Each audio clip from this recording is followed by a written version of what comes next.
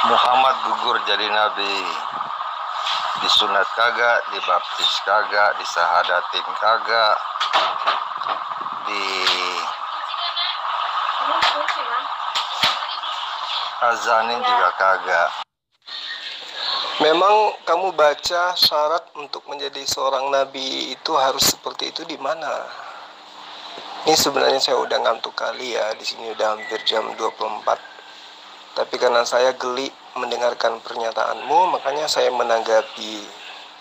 Kamu katakan beliau gugur menjadi nabi karena beliau tidak disunat. Beliau tidak diazani, tidak disyahadatkan. Memang nabi yang kamu kenal disyahadatkan, diazankan. Ada syaratnya seperti itu. Kamu baca di mana? Coba terangkan. Terus lebih lucu lagi ditambah sunat wanita dasar hukum jadi mana itu Kamu nggak usah pusing tentang itu, ya. Karena itu adalah syariat Islam. Kamu nggak boleh masuk ke ranah sana karena kamu bukan Islam. Nah sekarang kamu kan ngaku sebagai pengikut Yesus. Yesus itu adalah pemegang amanat perjanjian kekal dari Allah. Di dalam kitab Kejadian 17 ayat 10, Allah membuat perjanjian kekal, yaitu setiap anak laki-laki dari keturunan Abraham wajib disunat. Nah, Yesus adalah keturunan Abraham, wajib disunat. Ajaran Yahudi wajib disunat, Yudaism itu wajib disunat. Sekarang Kristen malah diharamkan sunat melalui nabinya, yaitu nabi palsu bernama Paulus di dalam Galatia 5 2 sampai ayat 3. Paulus sampai bersumpah ya, membawa-bawa namanya bahwa tidak akan diselamatkan seseorang yang melakukan sunat. Sementara Yesus sendiri justru disunat karena itu adalah perjanjian kekal Allah. Di dalam kitab Kejadian 17 ayat 14 orang-orang yang tidak disunat harus diha- dihilangkan, harus dilenyapkan alias dibunuh. Nah sekarang pertanyaan saya, kamu ikut siapa tidak sunat? Jawab. gue ikutin Muhammad torpedonya kulur gitu Dalilnya jelas Rasulullah Muhammad SAW itu wajib disunat. Kenapa? Karena dia adalah keturunan Abraham. Kejadian 17 ayat 10. Semua yang menjadi keturunan Abraham turun temurun. Kamu ngerti kata kata turun temurun kan? Artinya itu tidak terputus. Harus terus berlanjut dan itu adalah perjanjian kekal. Ngerti kekal kan? Tidak ada habisnya selama- selamanya. Jadi semua keturunan Abraham secara turun temurun maka mereka wajib sunat. Itulah yang kami anut baik Islam maupun Yudaism karena kami secara turun temurun melakukan sunat. Nah sekarang kamu ikut siapa nggak sunat? Jawab. Mana dalilnya nabimu disunat? Hmm? Mana dalilnya? Kejadian 17 ayat 10 Perjanjian kekal Allah berlaku kepada semua keturunannya secara turun temurun dan Muhammad Sallallahu Alaihi Wasallam adalah keturunan Abraham. Kalau kamu nggak percaya kitabmu, kitab yang kamu ambil dari agama Yahudi, ya sudah. Sekarang saya balik tanya samamu, mana dalilnya Yesus disunat? Tunjukkan. Kabur dia katanya minta eh ternyata forum forum dari forum teri Saya ada di sini kawan. Cuma saya ngantuk kali habis dari puncak. Tapi karena saya geli mendengarkan ocehanmu, makanya saya paksakan untuk menjawab apa yang kamu pertanyakan. Mana dalilnya Rasulullah Muhammad Wasallam itu sunat? Kejadian 17 ayat 10. Oke. Mana dalilnya Kristen diharamkan sunat? Galatia, Galatia 5 ayat 2 sampai ayat 3. Oke. Okay? Nah, sekarang Yesus sunat, Islam sunat. Yesus sunat, Kristen gak sunat. Siapa pengikut Yesus? Kristen atau Islam? Jawab, nggak pakai sunat. Aku ikut Nabi Muhammad kulub. Ya nggak boleh dong. Kan kamu katanya pengikut Yesus. Ya harusnya kamu sunat. Tapi karena kamu tidak sunat, berarti kamu pengikut Paulus. Karena Paulus mengharamkan sunat. Kan gitu. Apakah si Muhammad dihidup sama saja uh, zaman Abraham? Oh, tidak. Tapi itu adalah perjanjian kekal Allah. Allah yang memiliki perjanjian kekal terhadap Abraham dan keturunannya. Dan kamu sebagai penganut agama Romawi, kamu nggak bisa ngatur-ngatur itu. Terbukti kami umatnya sunat. Dan itu terbukti bahwa apa yang difirmankan oleh Allah kepada Abraham, itu kami laksanakan, itu kami genapi, kami sunat. Rasulullah Muhammad SAW pasti sunat. Meskipun tidak ada dalil yang mengatakan aku disunat. Ya kan? Sama seperti Musa. Musa yang memproklamirkan sunat bukan Abraham tapi ya Musa. Nah adakah di dalam dalil kitabnya Nabi Musa bahwa dirinya sunat? Nggak ada kan? Nah kalau nggak ada berarti Musa nggak sunat. Nggak mungkin Pasti dia sunat. Kenapa? Karena dia adalah keturunan Abraham. Begitu juga Nabi Muhammad Sallallahu Alaihi Wasallam. Satu hal yang perlu kamu pahami, ya, satu hal yang perlu kamu pahami. Musa alaihissalam diakui kenabiannya oleh siapa? Oleh saudaranya sendiri. Siapa? Harun. Ya? Yang mengakui kenabiannya Musa, adiknya sendiri, saudaranya sendiri, Harun. Bagaimana dengan Muhammad? Muhammad Shallallahu Alaihi Wasallam diakui kenabiannya oleh orang Nasara, pendeta lagi, namanya Warakah. Bukan siapa-siapa, bukan pamannya, bukan saudaranya, tapi beda keyakinan dalam arti kata Rasulullah Muhammad Shallallahu Alaihi Wasallam bukan seorang Nasara, tetapi diakui oleh seorang pendeta bahwa dia adalah seorang nabi. Jadi perbandingannya sangat luar biasa. Musa adalah nabi diakui pertama kali oleh adiknya sendiri, keluarganya sendiri, nepotisme. Sementara Muhammad Shallallahu Alaihi Wasallam menjadi nabi yang memproklamirkan adalah seorang pendeta. Berarti tidak ada nepotisme. Di situ perlu kamu banyak belajar, ya. Jadi memang kamu akan bingung. Kenapa? Yesus keturunan Abraham. Dia wajib disunat sama dengan Muhammad Sallallahu Alaihi Wasallam. Wajib disunat begitupun keturunannya secara turun temurun termasuk kami Islam ini. Karena bersifat turun temurun nah kamu Kristen tidak sunat ikut siapa?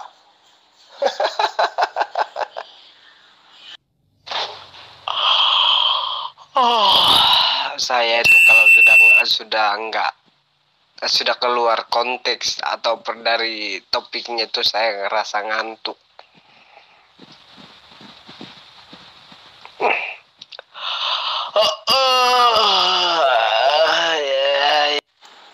Di sini sudah pukul 00 lewat 10 menit. Saya juga ngantuk. Tetapi karena saya harus menginjili ya dan namamu kebetulan adalah Laskar Kristus, ya tepat sekali saya harus injili kamu kan apalagi ini adalah grup Graha Murtadin. Wih, berarti di dalamnya adalah orang-orang yang mampu memurtadkan. Sayangnya ilmunya nggak ada, gitu loh. Kamu pasti nggak ngantuk karena kenapa? Yesus mewajibkan sunat. Di mana dalilnya? Matius 5 ayat 17 sampai ayat 19. Siapa pun yang menghilangkan dari setitik pun meskipun yang paling terkecil dari hukum Taurat. Tahu hukum Taurat? Hukum Tuhan. Salah satu hukum Tuhan yang terbesar adalah perjanjian kekal, yaitu sunat. Barang siapa yang menghilangkan itu, kata Yesus, maka dia akan dimasukkan ke dalam neraka. Itu kata Yesus. Dan terbukti Yesus sunat. Ya, kan gitu. Menurut pengakuan Lukas, entah dari mana dia tahu. Karena Lukas ini juga bukan muridnya Yesus. Ya, entah dia dengar dari tetangga atau dengar dari merpati pos yang lewat. Wallahu alam bisawaf. Nah, sementara kamu oleh nabimu, nabi palsu bernama Paulus, mengajarkan kamu haram sunat. Yesus tidak berguna bagi kamu kalau kau sunat, kata pendiri Kristen Paulus. Nah sekarang pertanyaan saya, kamu itu pengikut Yesus atau pengikut Paulus? Makanya kamu ngantuk. Kenapa? Maju, kena, mundur, kena. Lebih baik alasan ngantuk. Padahal di Makassar ini sudah jam 24 lewat 15 menit. Tadi saya ngantuk kali baru nyampe rumah. Tapi sebagai penginjil saya punya tanggung jawab untuk menyehatkan akal sehatmu. Yesus tidak mengajarkan sunat supaya selamat. Makanya Petrus melarang sunat. Ya, Petrus melarang sunat. Maupun siapa melarang sunat. Tapi Yesus tidak pernah melarang sunat. Di mana Yesus melarang sunat? Kapan Yesus melarang sunat? Kalau Petrus, Lukas, Markus semua melarang sunat, Paulus, ya silakan aja. Memang dia Tuhanmu. Kan Tuhanmu Yesus. Tuhanmu sunat eh, hari ke-8 katanya. Dan kata Yesus, aku mengenal muridku, muridku mengikuti aku dan mengenal aku. Nah, kalau kamu mengikuti Yesus, maka kamu disunat. Tapi karena kamu tidak disunat, karena menurut Paulus jangan sunat, ya kamu pengikut Paulus, bukan pengikut Yesus. Gitu loh. Yesus itu melarang menghilangkan menghilangkan apa pun dari hukum Torah. Kejadian itu hukum Torah. Bukan lagi kejadian biasa, tapi perjanjian kekal. Tahu nggak apa arti kekal itu? Arti kekal itu tidak boleh dihilangkan. Apalagi penegasannya turunanmu secara turun, temurun. Berarti sampai ke Islam karena turun temurun, nggak boleh dihilangkan. Nah sekarang pertanyaan saya, kamu itu pengikut Yesus atau pengikut Paulus? Kamu mau ngaku pengikut Yesus. Kalau pengikut Yesus, harus sunat. Tapi karena kamu tidak sunat, tapi kamu ngaku pengikut Yesus, berarti kamu penyusup. Gitu loh. Paham enggak sampai situ? Syarat dasar jadi Islam aja dia tidak lulus, gimana dia bisa jadi nabi gitu. Oh, jadi nabi-nabi terdahulu termasuk Musa itu Islam ya? Karena dia lulus menjadi nabi. Alhamdulillah. Wa syukurillah. Ternyata kamu sudah mengakui bahwa untuk menjadi seorang nabi, mereka orang-orang ini harus Islam dulu, harus syarat harus lulus syarat Islam untuk menjadi seorang nabi.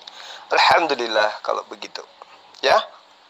Jadi saya tidak perlu bantah-bantahan dengan orang yang tidak ada ilmu. Tugas saya hanya menginjilin.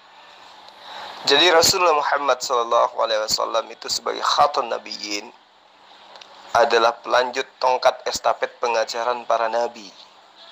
Dia adalah penolong lain yang datang kemudian mengajarkan segala hukum-hukum yang Allah berikan step by step selangkah demi selangkah kepada nabi-nabi sesuai dengan kemampuan uh, umat manusia pada zamannya.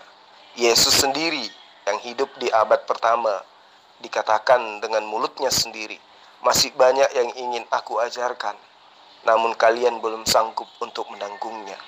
Tapi ketika dia datang, yaitu seorang penolong lain bernama Ahmad, dialah yang akan mengajarkan segala sesuatunya tentang hukum-hukum. Makanya Muhammad SAW itu mengajarkan segala hukum-hukum. Tapi yang kau anggap seorang penolong itu justru Roh Kudus. Tapi Roh Kudus cara cebok aja tidak diajarkan. Hukum beristinja aja nggak diajarkan. Berarti bukan dia yang dimaksud. Sementara Yesus mengatakan dia akan mengajarkan segala hukum-hukum. Nah, orang itu tentu adalah Muhammad Sallallahu Alaihi Wasallam. Dan yang perlu kamu pahami dengan baik, Di dalam kitab kejadian 17 ayat 14, siapa pun yang tidak bersunat harus dihilangkan dari umat ini. Kamu itu harusnya dimatikan. Harusnya kamu itu dieksekusi mati. Kalau mau mengikuti perintah Tuhan yang ada di dalam kitab kejadian milik orang Yahudi yang tidak disunat itu harus dibunuh, harus dilenyapkan. Itu firman Allah. Pantas saja di dalam Talmudnya orang Yahudi, Kristen itu tidak dianggap, malah dibi dibilang hewan. Kenapa? Karena kelaminnya bertudung. Kelamin kok pakai payung?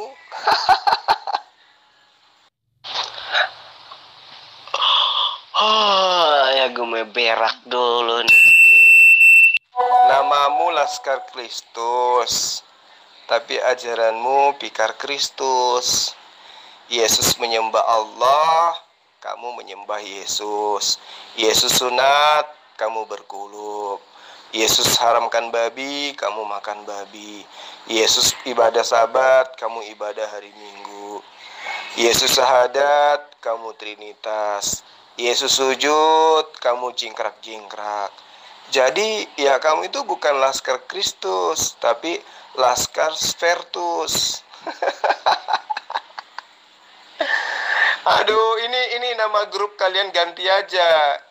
Ini nama grup kalian Graha Murtadin, ganti aja menjadi Graha Gigi Ompong.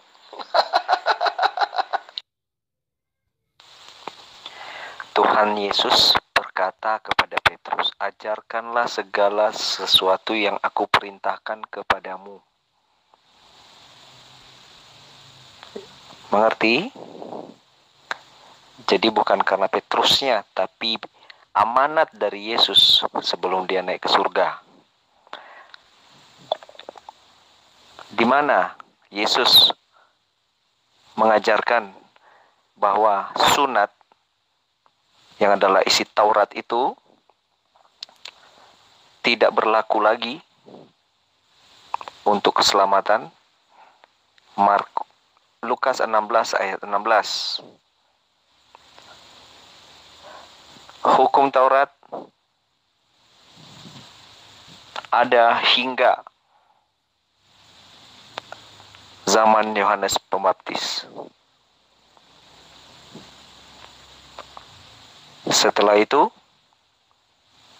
tidak ada lagi kan? Adanya sampai kapan kata Yesus? Sampai zaman Yohanes Pembaptis. Yohanes Pembaptis adanya didahului oleh Yesus. Seperti begitu masuk Yesus, hukum Taurat termasuk sunat tidak ada lagi. Kalau begitu coba kamu tunjukkan kepada saya ajaran Yesus kepada Petrus untuk mengharamkan sunat. Satu dalil aja kalau ada. Silakan. Ini argumen paling tolol yang gue dengar. Masa lu suruh gue jangan masuk ke ranahmu, tapi lu seenak udel masuk ke ranahku gitu ganti. Kamu ngomong apa? Kalau nggak ada ilmu sebenarnya kalian itu jangan bikin grup. Seharusnya grup Graha Murtadin ini ketika mau memasukkan saya sebagai debat debater dari debater dari muslim kamu persiapkan minimal 10 pendeta yang harus hadapi saya ini kalian cuman kayak gini gimana mau memurtadkan orang? Kalian bicara aja belepotan. Kalian minta dalil mana dalilnya Muhammad itu sunat ya udah aku bacakan kejadian 17 ayat 10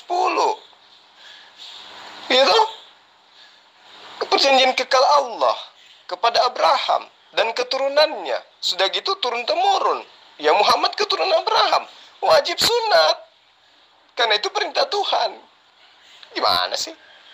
Nah sekarang kamu gak sunat itu ikut siapa? Tuyul. Kan saya udah bilang tolonglah jangan diulang-ulang kayak teman-temanmu yang lain itu. Nggak pinter-pinter loh nanti. Kan saya udah bilang di atas cukuplah sekali saya ngomong. Jangan diulang-ulang. Yesus itu disunat karena dia memenuhi hukum Taurat. Setelah dia memenuhinya, dia berkata, hukum Taurat adanya sampai zaman Yohanes. Setelah itu artinya tiada. Bisa dipahami ya, nggak usah diulang-ulang. Dan dia beramanat pada Petrus, ajarkan apa yang aku perintahkan kepadamu. Makanya Petrus ngajarin. Loh, justru Yesus berkata, tidak setitik pun dihilangkan dari hukum Torah, meskipun yang paling terkecil, sebelum langit dan bumi ini lenyap. Langit, bumi belum lenyap, berarti belum bisa dihilangkan hukum Torah itu meskipun yang paling terkecil. Bertentangan kan dalil kitabmu? Eh dalil kitabmu. Bertentangan kan dalil kitab agama lain yang kalian ambil nah itulah hebatnya. Jadi Yesus itu tidak pernah mengajarkan hukum Torah itu sudah tidak berlaku. Enggak. Itu ajaran dari Romawi itu demi untuk melanjutkan ajaran pagan. Maka ajaran Yudaism, ajaran monoteisme itu diusahakan untuk dihilangkan. Sayangnya Yudaism masih ada sampai sekarang, masih memegang teguh syariat-syariat yang Nabi Musa ajarkan, Nabi Abraham ajarkan, yaitu sunat. Gitu. Jadi kalau kau katakan uh, sunat itu sudah dibatalkan oleh Yesus, itu dusta. Yesus tidak pernah membatalkan hukum Torah. Yesus justru menggenapinya. Nah, kalau misalnya Yesus menghilangkan hukum Torah, ya menghilangkan hukum Torah itu untuk Bani Israel. Karena kenapa? Yesus diutus untuk Bani Israel. Torah ya diususkan perjanjian baru Allah kepada Bani Israel. Yeremia 31 ayat 33. Aku akan membuat perjanjian baru kepada Bani Israel, yaitu aku akan memasukkan hukum Torah ke dalam batin setiap dari mereka. Nah, itu perjanjian Allah kepada Bani Israel. Aku akan memasukkan hukum Torah. Artinya, hukum perjanjian kekal Allah berupa sunat itu diajarkan kepada setiap Bani Israel. Nah, Bani Israel tidak habis sampai Yohanes saja. Tapi sampai sekarang turun temurun masih ada Bani Israel. Berarti hukum perjanjian kekal Allah tentang sunat masih dijalankan hari ini. Bagaimana pembuktiannya? Iya betul. Yahudi tetap sunat. Nah kalau misalnya kamu katakan Yesus mati di tiang salib untuk supaya melepaskan kita dari hukum Torah. Memangnya kalian Bani Israel sampai harus dibebaskan dari Torah? Itu Torah itu dikhususkan kepada Bani Israel. Jadi kalau Yesus betul datang untuk membebaskan, maka yang dibebaskan Bani Israel, bukan Bani Kristen. Bagaimana ada ajaran Islam kalau yang membawanya saja tidak sah untuk menjadi seorang Islam, apalagi menjadi nabi. Terus lu klaim Musa, Musa beragama Islam, kan lucu. Nabimu aja nggak sah untuk jadi nabi. Terus dia punya ajaran apa? ajarannya nggak sah berarti. Loh, buktinya ajarannya ada Islam dan itu tidak berubah dari sejak 1400 tahun silam, ada sampai sekarang. Dan dia hanya seorang diri. Tapi ajarannya langgeng. Nah, Yesus ajarannya cuma sampai kapan?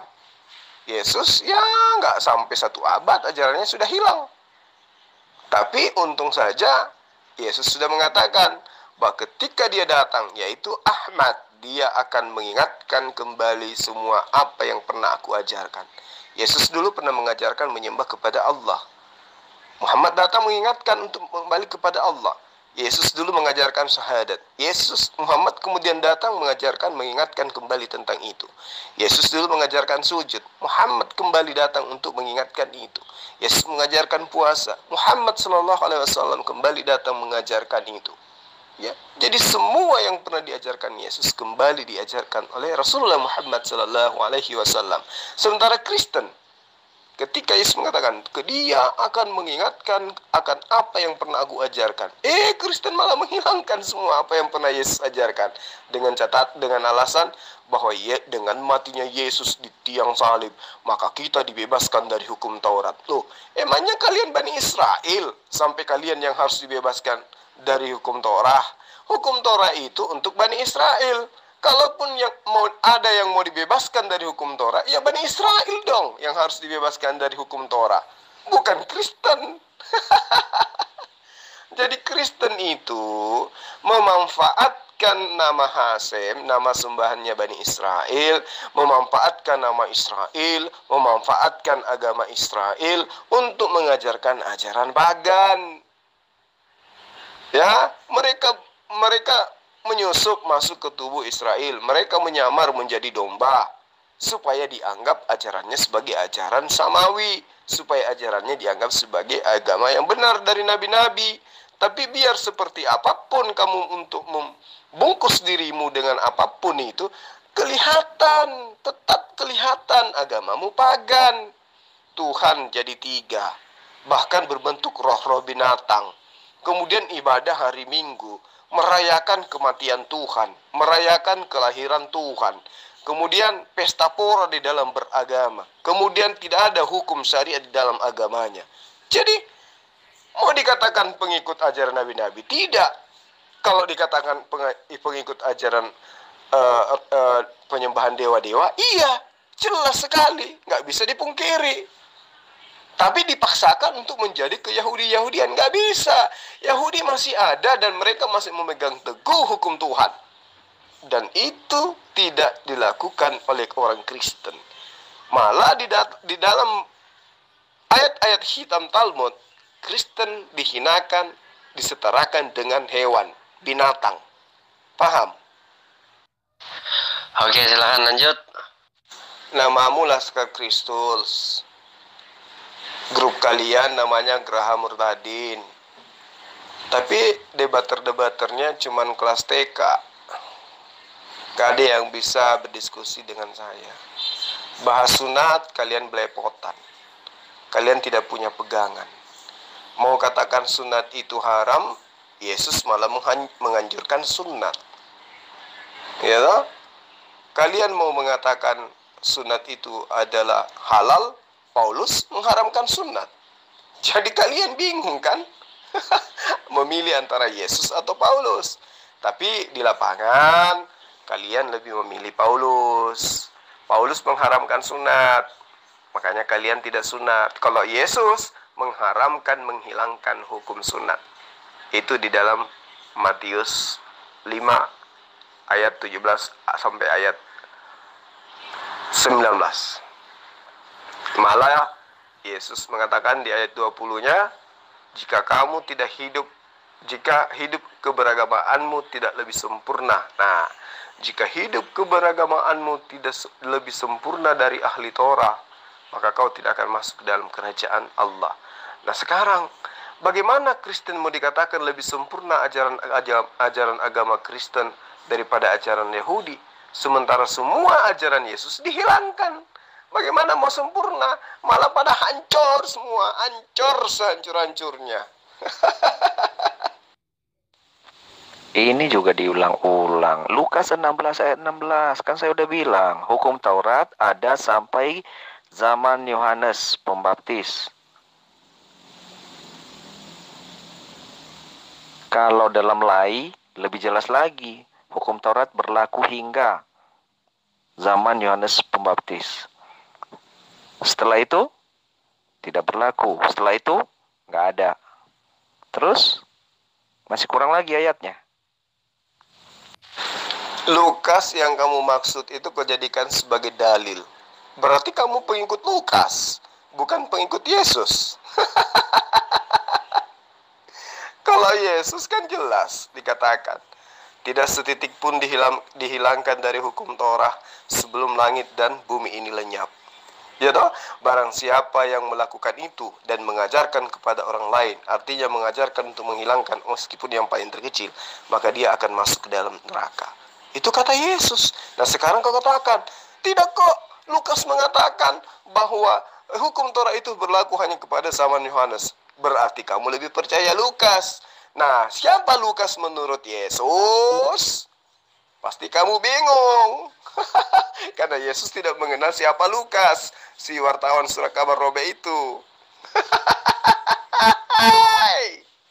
lu bisa bantah kagak? Lu kan tadi bilang kalau Musa itu Islam. Lah bagaimana Musa bisa Islam?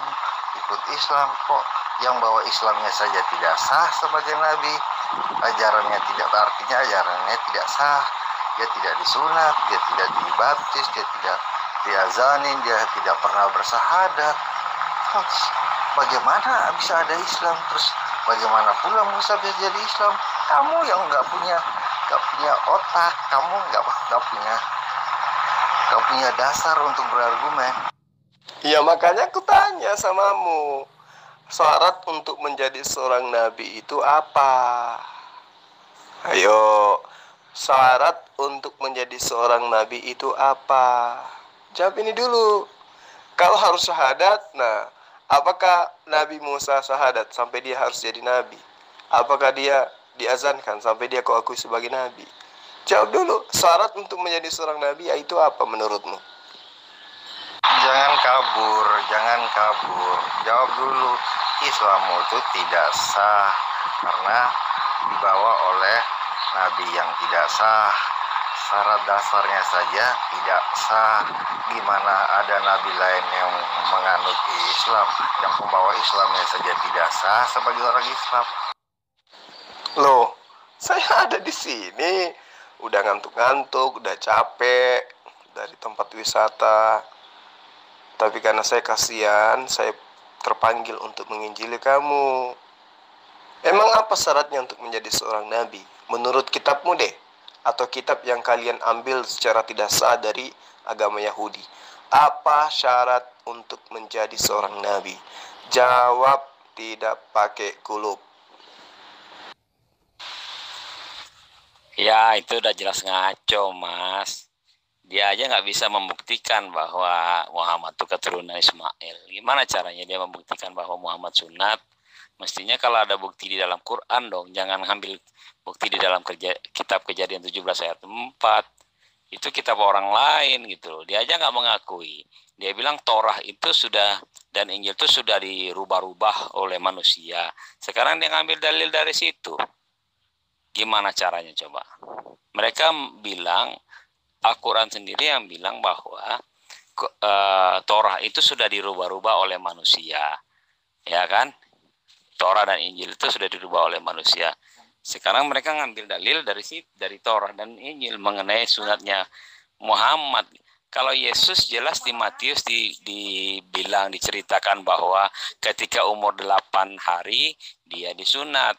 Nah, dalil seperti itu ada nggak di dalam Al-Quran tentang Muhammad gitu loh diceritakan bahwa ketika umur sekian hari Muhammad disunat gitu maksudnya dalil dalam Quran jangan ngambil dalil dari kitab orang gitu loh belum bisa membuktikan silsilahnya tapi mengklaim gitu kan.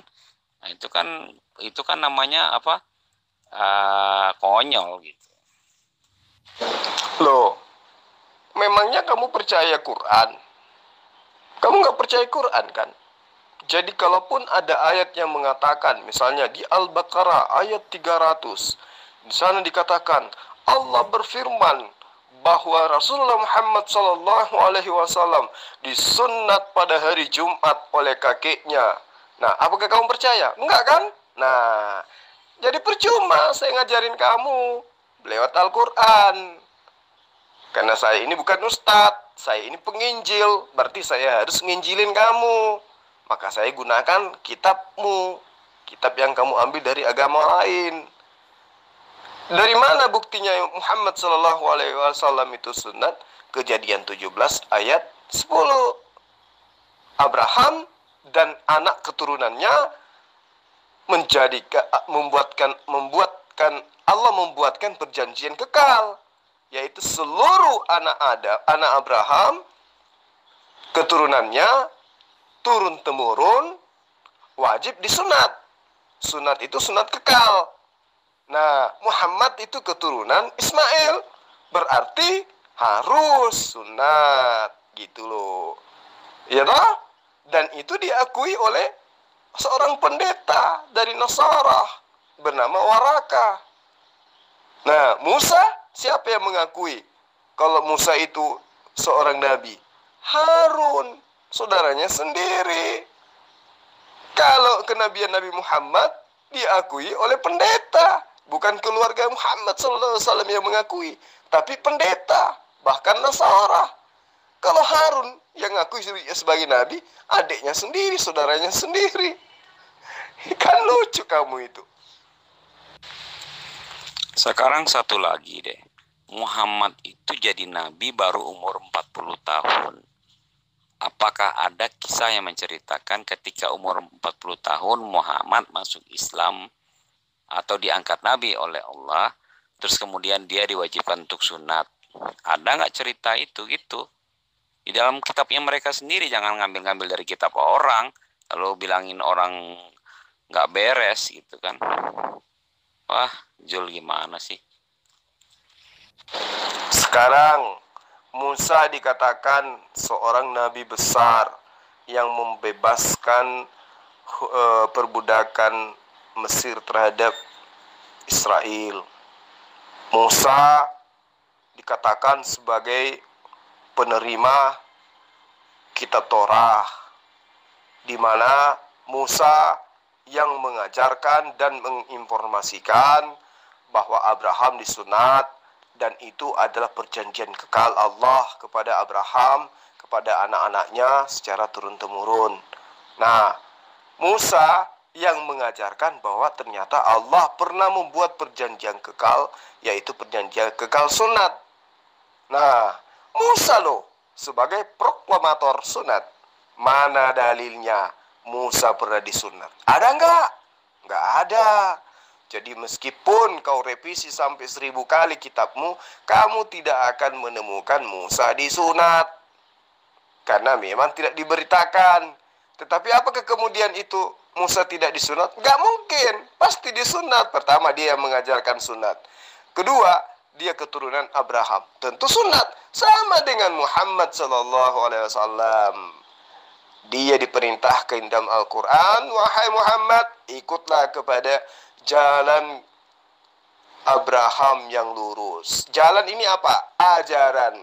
Apa ajaran Abraham? Sunat, kurban, nyembah kepada Allah. Nah, Muhammad itu adalah adalah seorang nabi yang taat apa yang diperintahkan oleh Allah pasti dilakukan. Diikutkan, diikuti perintah Allah untuk mengikuti Abraham, maka pasti dia sunat. Nah sekarang, kamu katakan Yesus sunat. Yang menginformasikan Lukas. Lukas kapan ketemu dengan Yesus sampai dia tahu bahwa Yesus itu sunat? Nah, nggak bisa jawab pasti.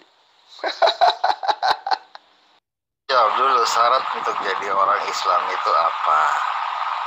Nah, dari situ lu akan tahu bahwa Nabi lu itu gak lulus untuk hal yang paling mendasar saja. Ini orang ini lucu. Dia duduk sebagai debater di sebuah grup besar, Geraha Murtadin. Dia dia nggak bisa bedakan antara Islam dengan sunat, antara Islam dengan Nabi. Lucu anda ini. Nabi itu apa?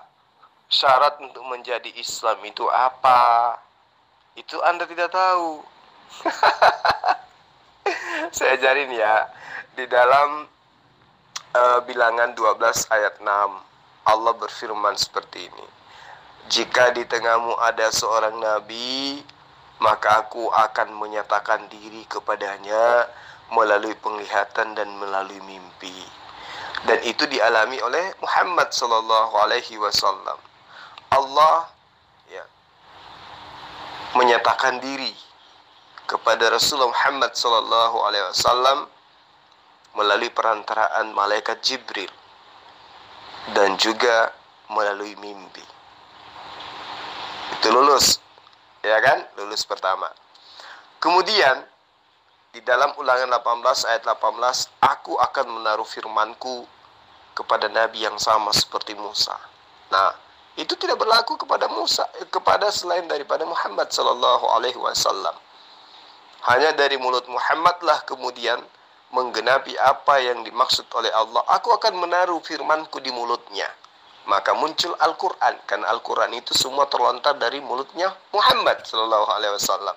Nah kalau dilarikan kepada Kristen ayat 18 ayat, uh, ulang 18 ayat 18 ini, maka firman itu disimpan di mulut Lukas. Benarkah Lukas itu adalah nabi yang sama seperti Musa? Kalau kitabnya Yohanes itu dianggap sebagai firman Tuhan, berarti Tuhan menaruh firmannya di mulut Musa, di mulut Yohanes. Benarkah Yohanes itu sama seperti Musa? Markus, benarkah Markus itu sama seperti Musa? Matius, benarkah Matius itu sama seperti Musa? Enggak kan? Nah, kalau itu kau katakan Yesus, mana firman yang ditaruh di mulut Yesus? Enggak ada kan? Kitab Yesus mana? Nggak ada. Lukas bukan kitab Yesus. Markus bukan kitab Yesus. Nggak ada kitab Yesus itu. Berarti bukan firman. Berarti ulangan 18 ayat 18 itu bukan ditujukan kepada Yesus. Tetapi kepada Muhammad Sallallahu Alaihi Wasallam. Dan itu tidak bisa kamu pungkiri. Ini grup kalian. Namanya Graha Murtadin. Tapi ilmu kalian cetek yang mau murtad dengan gaya kalian seperti ini sopo kucing. Untuk menjadi seorang nabi harus ada nabi yang mengurapi. Harus ada nabi yang mengurapi. Nabimu diurapi oleh siapa? Di mana dalilnya? Bahwa untuk menjadi seorang nabi harus diurapi. Berarti bait suci yang diurapi itu semua juga nabi. Gitu batu tugu yang diurapi itu juga nabi. Aduh Yesus diurapi berarti dia juga nabi. Tapi dituhankan. Nabi dituhankan. Dasar tuyul kribo. Nah sekarang di mana dalilnya seorang nabi harus diurapi dulu? Kalau ada terbukti Yesus diurapi berarti dia hanya sedang nabi Tuhan tidak mungkin nabi, nabi tidak mungkin Tuhan. Lucu kau itu. Nah, kalau misalnya nabi itu harus diurapi, ya toh? Dalil itu tertulis di mana? Dan yang penting kamu tahu, kenabian Muhammad sallallahu alaihi wasallam itu diakui oleh pendeta Nasara, bukan pendeta Kristen tapi pendeta Nasara. Nah, kenabian Yesus siapa yang akui? Kenabian Musa siapa yang akui? Tapi tetap aja kalian imani sebagai nabi. Kan gilo. gue percaya kalau ada di Al-Quran ada tulis bahwa dia disunat. Di dalam Al-Quran ada, gue percaya tunjukin Al-Qurannya mana. Ya, begitupun kalau dikatakan Lukas Yesus disunat hari hari ke-8. Saya nggak percaya.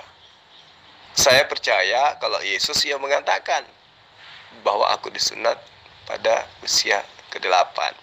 Toh? Nah, kalau di Al-Quran jelas perintah Allah kepada Muhammad SAW agar mengikuti gaya hidup Abraham. Gaya hidupnya Abraham apa? Nyembeli hewan, nyembah Tuhan satu, sunat. Nah, lebih tepatnya lagi, di dalam kitab pengajarannya Nabi Musa dikatakan bahwa ya Abraham diperintahkan dari Allah sebuah perjanjian kekal kepada anak-anaknya dan keturunan anak-anaknya secara turun temurun. Berarti ikut kepada pengikut dari nabi tersebut. Nah, itulah yang terjadi. Terbukti kami semua sunat. Jadi kamu mau seperti apa pun, tidak bisa kamu pungkiri. Kau mau mengatakan Nabi Muhammad tidak bersunat karena tidak ada tulisnya di dalam kitabmu mengatakan Rasulullah Muhammad Shallallahu Alaihi Wasallam disunat pada hari ke-8 tidak dikatakan seperti itu. Nah Daud juga tidak dikatakan seperti itu. Padahal dari keturunan Daud lahir Tuhanmu. Nah Daud tidak pernah dikatakan bersunat. Salomo adalah raja Mesias yang diagungkan oleh Yahudi.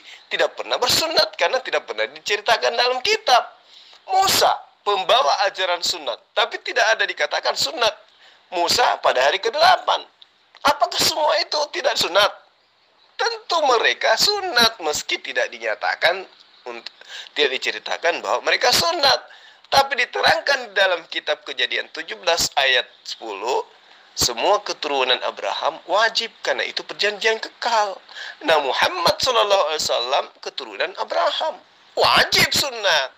Nah, di dalam kejadian 17 ayat 14, semua yang tidak disunat, laki-laki yang tidak disunat harus dihilangkan dari bangsa ini, harus dilenyapkan dari dunia ini dan dilemparkan ke dalam api neraka. Dan itu adalah Kristen. Selamat neraka umat kulub. diakui dan diurapi, ditahbiskan itu berbeda. Aduh, kamu kasihan banget. Aduh, kasihan banget. Ternyata lu cuma segini ilmunya cetek banget. Yang pasti Yesus itu disebut Kristus. Bahasa Yunani kan? Di dalam bahasa Ibrani disebut uh, Masaha. Ya. Nah, di dalam bahasa Islam disebut Al-Masih.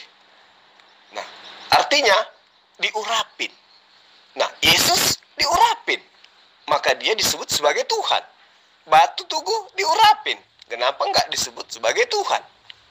Ayo, bait suci diurapin. Kenapa nggak disebut sebagai Tuhan? Ayo, kores diurapin. Kenapa kalian tidak Tuhankan? Harun diurapin. Kenapa kalian tidak Tuhankan? Daud diurapin. Kenapa kalian tidak Tuhankan? Ayo, ditasbihkan itu artinya disucikan. Ayo, berarti dia sama ketika ditakhirkan. Ya, suci dari hadas besar, hadas kecil. Ayo, dan itu dilakukan oleh nabi-nabi. Sementara kalian junub aja kagak. Jangankan junub, sunat aja kagak. Kalian itu tidak sunat ikut siapa sih? Yesus sunat. Ya toh? Yesus sunat. Nah, kalian ikut siapa tidak sunat? Ayo, ikut babi kan? Pernah lihat babi sunat? Enggak, ya itu yang kau ikuti.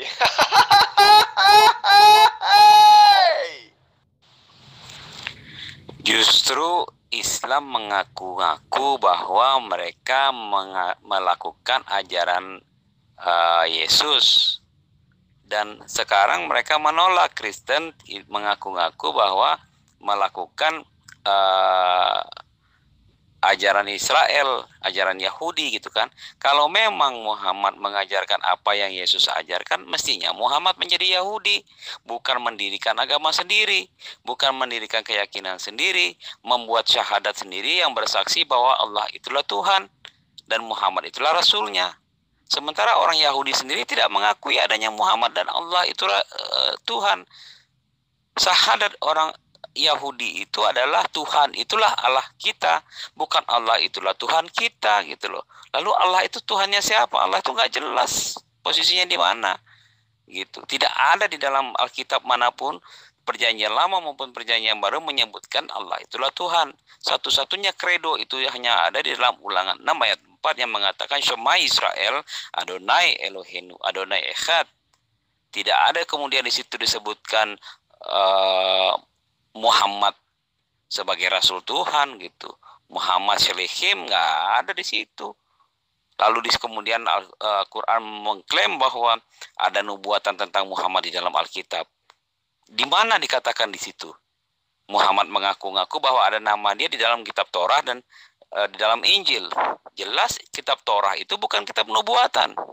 Nubuatan itu hanya ada di Yesaya dan Yehezkiel di dalam kitab tanah tidak ada di dalam kitab Torah. Torah itu semuanya lima sefer itu berisi tentang hukum. Menceritakan bagaimana keluarnya bangsa Mesir dari perbudakan, menceritakan bagaimana haram dan kosher dan lo koshernya makanan, menceritakan bagaimana berkat yang Tuhan berikan ketika orang Israel berhadapan dengan Tuhan. Kalau kemudian Kristen diklaim bahwa bukan orang Yahudi, Kristen itu Yahudi yang dicangkokkan itu yang namanya dengan Gentile. Gentile itu adalah orang-orang asing yang percaya kepada Kristus yang menjadi Yahudi gitu loh. Jadi Kristen itu sebetulnya sangat Yahudi, salah dia. Yesus orang Yahudi, pengajarannya sangat Yahudi. Yesus bukan membawa bukan membawa ajaran baru, Yesus menyempurnakan ajaran yang sudah ada dari kitab Yahudi, dari kitab perjanjian lama. Itu yang disempurnakan gitu loh. Kematian yang dilakukan di atas kayu salib itu bukan sesuatu yang baru. Kematian itu merupakan wujud dari pengampunan dosa yang dilakukan Adam. Tuhan sudah berfirman ketika Adam melakukan dosa, hukumnya adalah maut. Tetapi kemudian Tuhan berkata, Tuhan mengutuk tanah karena Tuhan tidak mau menghilangkan keturunan. Lalu keturunan dari Adam itulah yang kemudian akan menebus dosa-dosanya Adam di tiang salib. Itu maknanya kalau tahu. Nah, Muhammad mestinya mengatakan itu dengan terang benderang bahwa Yesus men, me, e, menghapuskan dosa itu, men, mengampuni dosa yang dilakukan oleh Adam itu di tiang salib, bukan membuat risalah baru, bukan membuat agama baru gitu. Sayang sekali di kitabmu semuanya ya baik itu yang tadinya Theon, tadinya Zeus, yang tadinya Theos, Alaha, Eloha, Elohim, semua diganti Allah. Artinya kamu sadar, ya, lembaga Alkitab Indonesia, lembaga lupa ayat Injil itu sadar bahwa Allah yang disembah oleh Islam adalah Eloah di dalam bahasa Aram Elohim di dalam bahasa Ibrani, Allah dalam bahasa Arab. Dan kamu harus tahu, tiga bahasa ini adalah bahasa serumpun dari semetik. Semua keturunan Abraham menggunakan tiga bahasa itu. Namanya bahasa semetik berarti bahasa yang berasal dari nenek moyang yang satu. Nah, karena dia bahasa serumpun, maka dia sama dengan bahasa Malaysia, Indonesia, Melayu. Seperti itu. Ya, Allah dalam bahasa Aram, Elohim dalam bahasa Ibrani, Allah di dalam bahasa Arab. Itu yang perlu kamu pahami dengan baik. Jadi sembahan Yahudi dan sembahan Islam yaitu Allah itu sama. Kalian di abad pertama ajaran pagan Romawi dan Yunani itu disatukan ke dalam pengajaran negara jajahannya yaitu Yahudi sehingga mereka yang tadi yang menyembah dewa-dewi mengganti dewa-dewinya dengan sebutan Yahweh. Paham? Jadi Yahweh itu adalah dewa-dewinya agama Kristen. Sebelum disebut agama Kristen, awalnya disebut sebagai Hellenisme Stoa. Hellenist Stoa. Itulah Kristen awal mula. Paham sampai di sana? Nah, siapa yang mengajarkan kamu tidak sunat? Kodok. yang lebih kasihan kamu menempelkan nama Muhammad sebagai keturunan Abraham. Di mana lu di mana ada dokumen yang valid di Al-Qur'an bahwa Muhammad itu turunan Abraham? Coba lu tunjukin. Kalaupun ada di dalam Al-Quran, misalnya dalam surah Al-Araf, bahwa Muhammad Shallallahu Alaihi Wasallam itu adalah keturunan dari Abraham, kamu tidak akan percaya. Nah, karena kamu tidak percaya Quran, cukup saya ajarkan kamu kitab yang kamu rampok dari agama Yahudi. Apa itu? Kita ambil dari kitab Kejadian 17. Allah berjanji kepada Abraham, aku akan menjadikan Ismail menjadi bangsa yang besar. Ismail adalah anak Abraham. Dijanjikan menjadi bangsa yang besar. Beranak cucu yang banyak. Melahirkan raja-raja.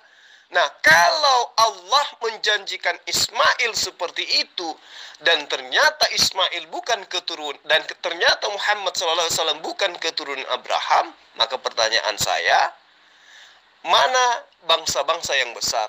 Mana keturunan yang besar? Mana anak cucu yang banyak? Mana raja-raja yang dijanjikan oleh Allah kepada Ismail? Ada? Ada? Enggak ada kan? Cuman Arab kan? Yang keturunannya besar, menjadi bangsa-bangsa, menjadi raja-raja.